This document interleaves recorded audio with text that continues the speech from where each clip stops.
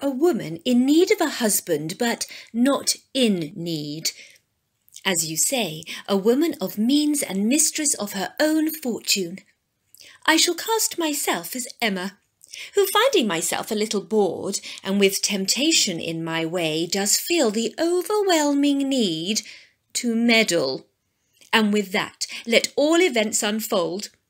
For Emma shall believe that she has found in Cheltenham the curative effect for Eloisa the wit being that you are not ailing at all, but are in fact mistress of your own situation and have arrived here in Cheltenham for a clandestine meeting with your newly beloved, with whom you are already secretly engaged.